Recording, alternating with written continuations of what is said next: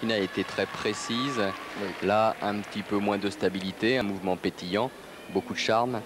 Alors voilà l'homme qui pourrait peut-être inquiéter euh, notre Français Sébastien Taillac à la barre fixe. 9,60 pour l'instant en tête devant Yuri Keki.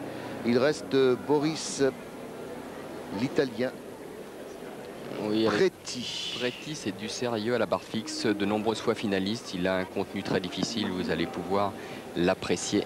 Ah, petit temps d'arrêt quand même. hein. Petite hésitation ici.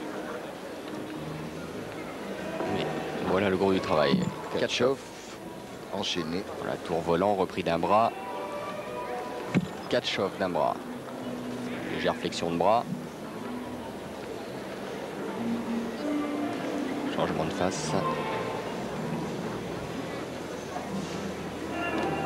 Léger dislocation. Tour dorsal et maintenant la sortie. Attention. Double, Double tendu. tendu. Et Boris Et- Preti n'a peut-être pas réalisé son meilleur mouvement. Taillac a réussi 3 lâchers de barre. Preti 3.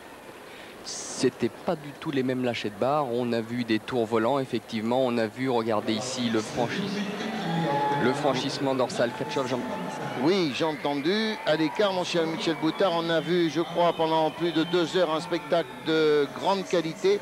Nous allons donc maintenant quitter le palais Omnisport de Bercy. Nelson, c'est à vous pour la fin de cette émission superbe.